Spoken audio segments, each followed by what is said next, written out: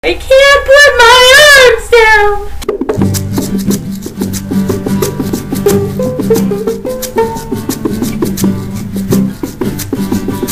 This is Sidney on YouTube. Hi guys. Uh, what you're about to see is me attempting to put on every piece of clothing in my wardrobe.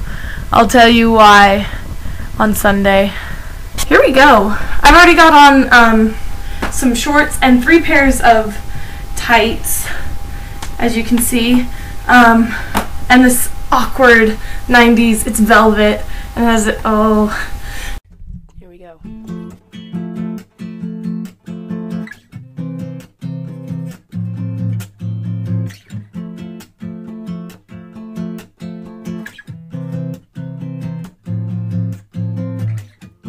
Consider this, maybe I'm wrong. Achy flesh of fragile bones of my own. I lay awake every night, careless hours, existing to none but the moon.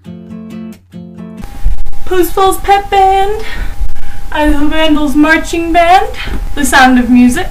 Another Post Falls Pep Band t-shirt says, without the band, it's just a game. Seattle Mariners. Oh look, another Post Falls Pep Band t-shirt. Uh, Heart for Hawkins dodgeball t-shirt. Alright, I think I'm going to take a break from putting on shirts real quick so I can get my pants on without getting stuck. And the stars. And I'm aware that these flimsy sheets are a reflection of my own weakness, the lack of sleep. And I'll confide in the quiet wind and not tell a soul of the hearts that were made. And secretly, I'll be terrified of those lonely nights and the silence there.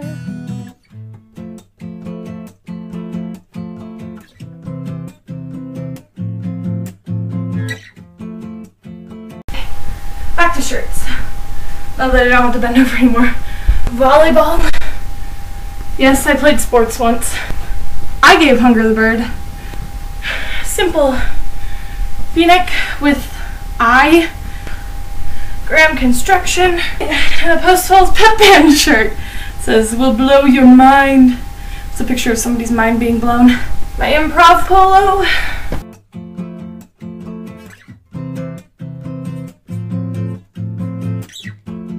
Here is where maybe I lied. Cause this I know, I've dreamt at least, at least once or twice. This is what McDonald's employees look like. May I take your order? But I'll breathe a sigh, a sigh of relief. When eyelids close and I'm carried to sleep. And I'm aware that these flimsy sheets